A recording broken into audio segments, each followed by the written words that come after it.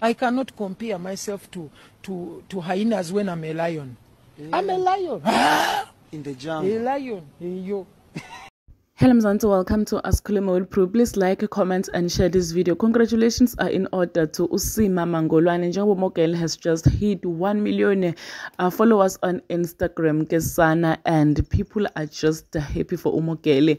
Umogele guys, akusikudala akusikudala dumile Umogele. Uh, but so ushaye 1 meter followers on Instagram. Undlule ama celebrity lamaningi guys and we are very very proud of Umogele. We know ukuthi this year things were a bit rocky for Umogele. He broke up, she broke up with um uGhost Hlubi and they got back together. She was a laughing stock. People were saying ukuthi uh uGhost is actually playing her.